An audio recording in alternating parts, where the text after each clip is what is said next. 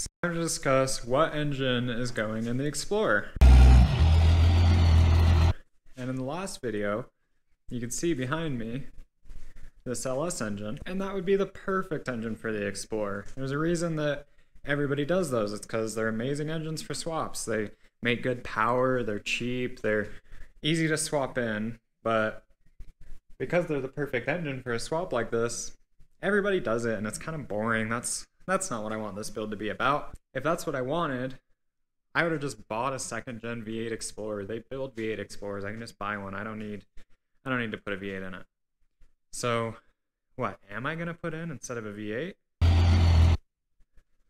Well, you can see this parts truck sitting behind me. It's got quite a few parts in it. And if you look on the ground right over here, you can see a Cummins.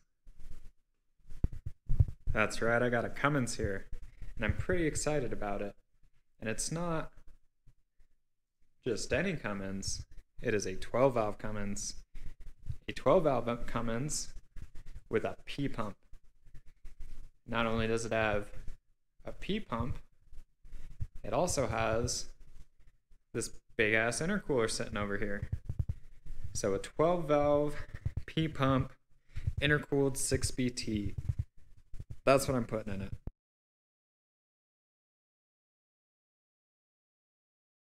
Why am I deciding to do something like this Cummins rather than, say, a V8 swap? Well, I want something simple, reliable, fun, definitely fun, and honestly, ridiculous. And I think those Cummins and Explorer definitely hits the marks. Now, for those who don't know much about these engines, let's talk about a Cummins versus a V8. So if you were to look at this engine, this engine is more reliable. It's not uncommon for these things to make half a million miles and have hardly anything done to them. They get better gas mileage, which, eh, that's all the boring stuff. What else about them? Uh, it's toy. Oh, it's because it was under vacuum, that's why.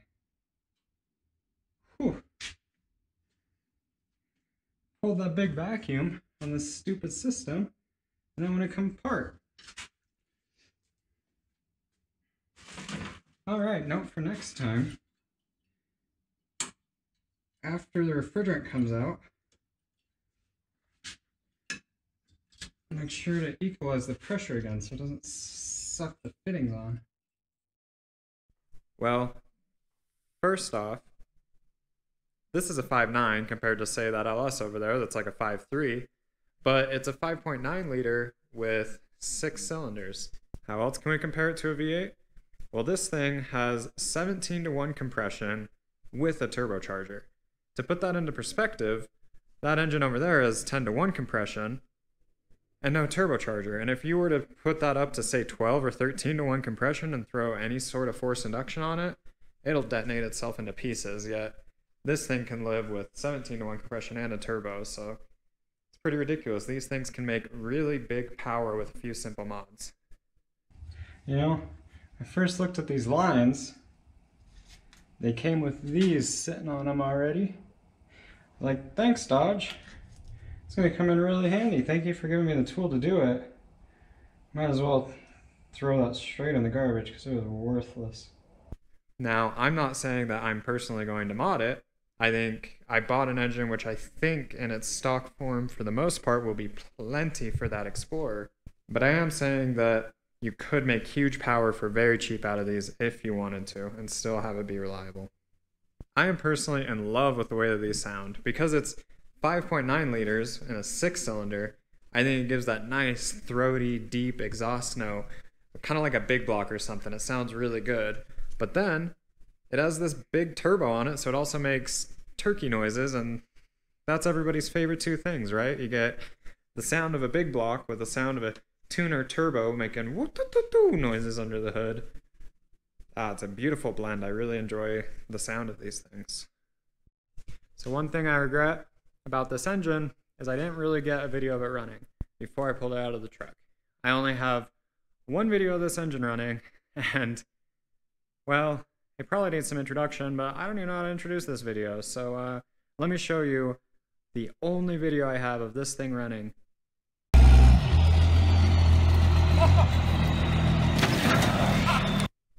Yeah, I don't know if I can explain that video. It's just, that's the only video I have. I guess drunken evening at the shop one time, screwing around, who knows. Now, I hear what you might be saying. A Cummins and an Explorer, that thing's never gonna fit, but by golly, if I have to cut out the firewall, if I have to box the frame, if I have to upgrade the suspension, if I have to upgrade the differentials, I'm going to do it. But that's not what this build's going to be about. Remember that the channel is called Build Theory, so we're not just going to YOLO it. What is this wire? It looks like it goes straight from positive to negative, but that can't be negative. I, if I remember right, I think they were trying to hotwire the alternator. Ah, yeah, they're bypassing this fuse. Can you tell why they were bypassing that fuse? Because it's real blown, so that's what this wire was. Rather than replace that fuse or fusible link, whatever you want to call it, risk fire. Really glad no one burnt this to the ground before I got it though. We are going to make sure this all work. We're going to analyze the frame, do everything else. And we're going to talk about that next video. How am I going to make this engine fit in an Explorer? That's really a lot to ask out of such a small car, and we'll go over exactly how we're going to make that work. But for this video, we're not going to talk about how we're going to make it work. We're going to, first off, let you know which engine I'm going to use. We already did that. And second off, I'm going to show you pulling it out of this parts truck.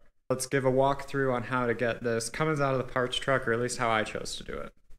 All right, so just to cover the parts that I didn't quite get on video, the basic methodology I used was I I removed the whole front clip that was sitting here, and then I removed the fenders.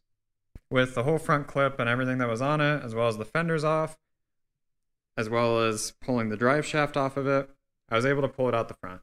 Now, there is one issue with the method that I used, and that's this cowl right here. See, the issue is that that cowl interferes with these last two cylinders on the engine right here.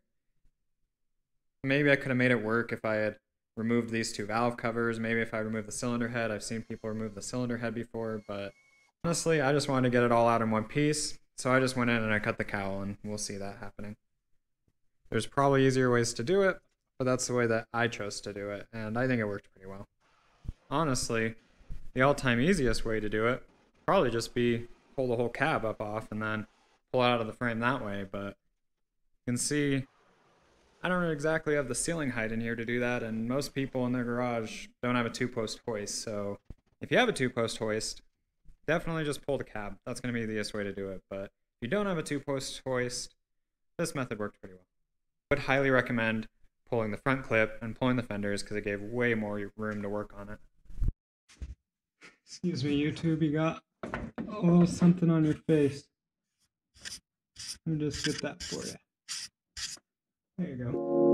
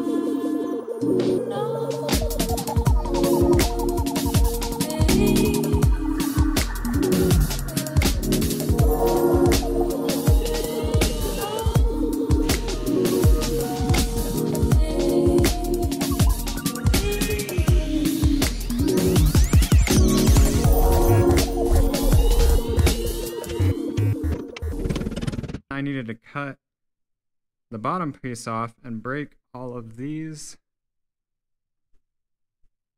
spot welds here. So the way I tried to do it originally, with a cold chisel and with a hammer. Don't do this with a cold chisel. It's a pain in the ass. You, I mean, if that's the only tool you got, go ahead and use it. It'll be fine. But if you can, air hammer.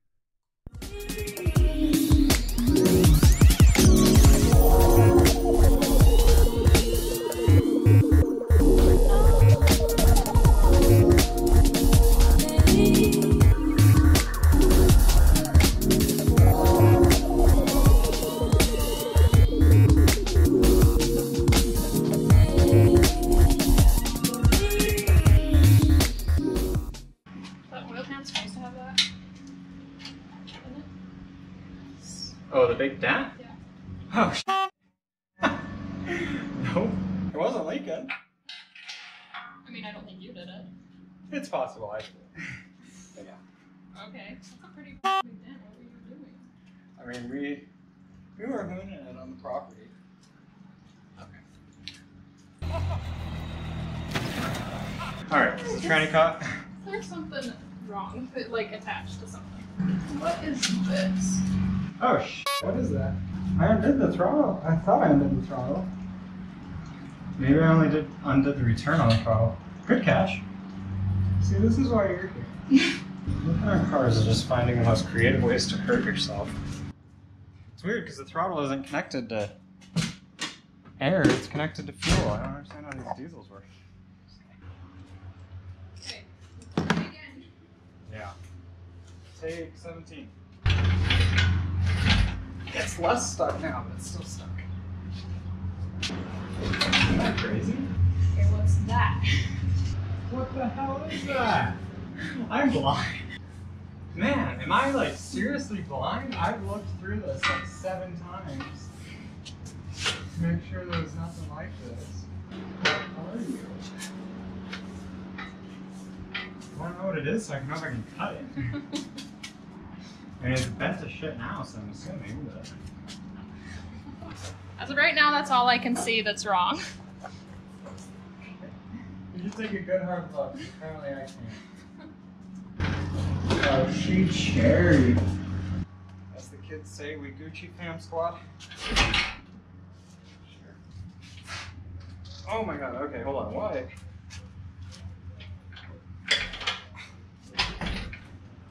we sure it's free? Sure we don't want to hook up the Jeep. Let's hook up the Jeep. Okay. It's almost out, isn't it? Jesus Christ. This thing is gigantic. what do you mean? Don't. You win. Play coy. Ain't this will fit in my Honda? Absolutely will. Oh my god, I'm so stupid. Okay, this one. I knew diesels took diesel. But I didn't do the fuel lines. Oh, okay. Plus, I need those. Not a how to. so I don't know what the hell I'm doing. Oh, this line's all true. Congrats. Okay, these are gonna cut. Fuel line's cheap. Uh, rubber fuel line's cheap. Alright, let's say the magic words again. It should be free now. Um, You're right this time. Knock on wood. The fuel lines, of all the things I would forget to disconnect.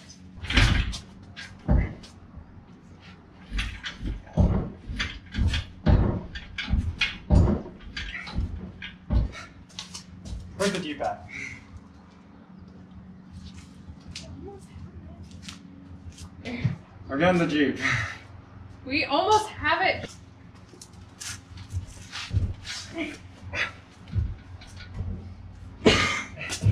We need speed or power to do. it. Can do it. Wanna hook up chains, bro? All the way across the whole parking lot, bro.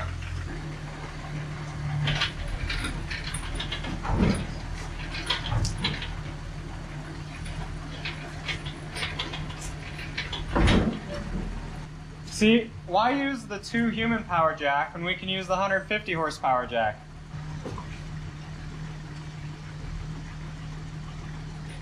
Okay.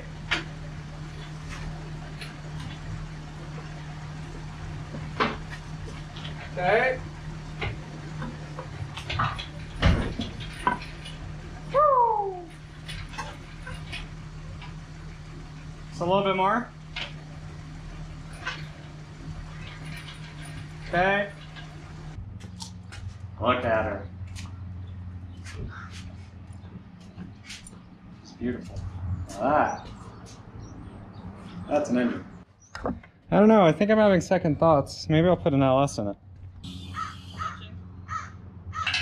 I think it wants to stay right there. I don't think it wants to move anywhere. And who am I to deny Cummins what I want? Oh, I'm so excited.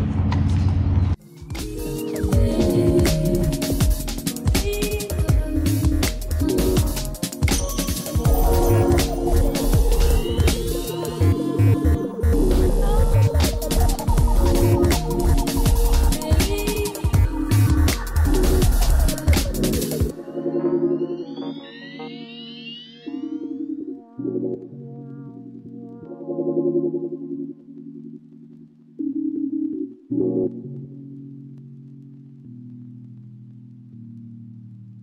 right, YouTube. Finally got it on the ground in the garage. And I am filthy and exhausted. Seriously underestimated how much, how greasy and nasty this thing was going to be. I know it was an old farm truck engine, but I scrubbed this thing for hour, two hours. It's still covered in grease It's a whole lot better than when I started, but it's still pretty nasty. But hopefully, it'll be a lot easier to work on moving the mountain of grease that I put on the driveway.